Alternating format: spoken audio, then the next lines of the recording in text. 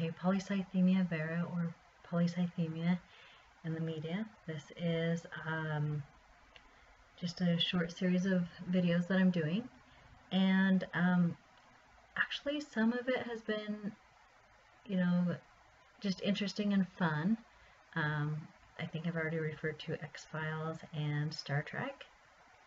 And I think General Hospital and also Scorpion, so TV shows. And um, now there's one that, you know, is really sad actually. And there are things that you, you would learn, um, I guess, in no other situation unless you're into Hollywood or all of those things, right? But um, this one is um, Jeffrey Slonim. Now, technically, he died um, from suicide. Jumped off a building.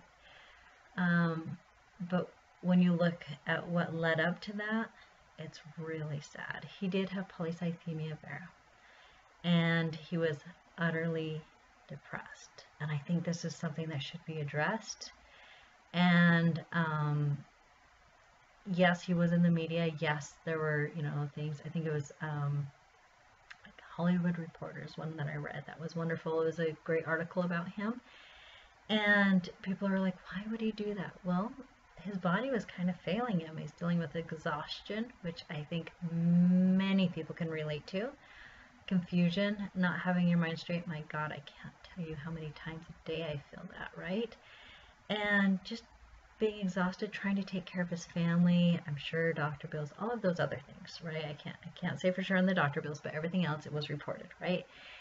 And here he is, a man trying to deal with all of this, and he had so many things that people would, you know, normally say, oh, he's in the limelight, things are good for him, he's all these famous stars, and things that people would normally say are so fantastic.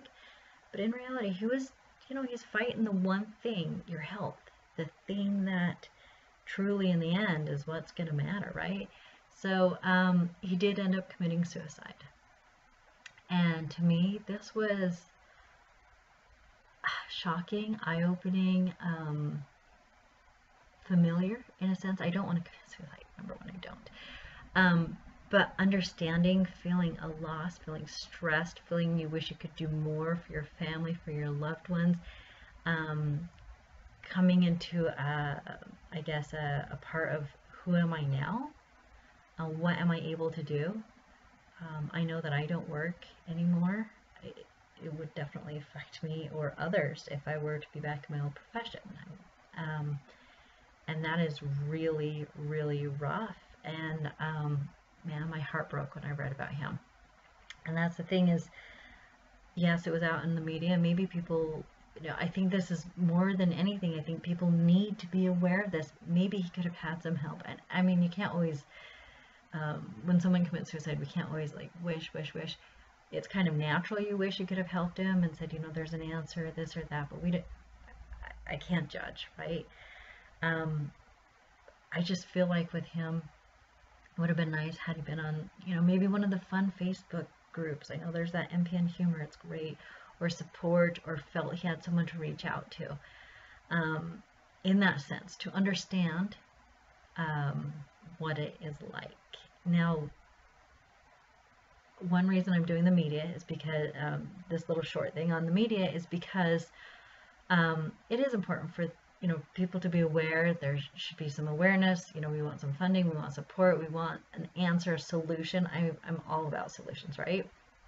I like solutions I think everyone does. Anyhow, um, but on top of that, you know, giving people a voice. I remember when I first was diagnosed, I, I just felt so alone, right? And um, I didn't even know that Facebook had groups. And my, one of my friends told me about it much later, and I was scared to even go on. And really, I love these groups. It's just, it's it's nice. And, you know, maybe I don't always totally relate with every single person. I don't expect to, and I don't want everyone to but maybe um, coming together as a community of trying to be healthy and happy and um, understanding. Anyhow, I read about him, um, Jeffrey Slonim. He seemed like he was really trying to hold it together, and I, my heart breaks for his family and friends, and I do hope he has found some peace now. Um, I hope that we can, I guess, as a like a blood sisters brothers uh, community um, you know have more information put out there for other people so we can feel like we can reach out we can feel understood and I, I hope there's more information and god forbid i hope there's a cure one day um, so anyhow this was someone who was in the media they did report it quite a few times actually and i will um, put some links below on um, you know, about Jeffrey Slonim. I wouldn't have known about him otherwise. And I think this is important, just, you know, kind of get him out there. Um, so that was wonderful um, to read about someone. It's also um, an eye opener, awakening moment, something like that.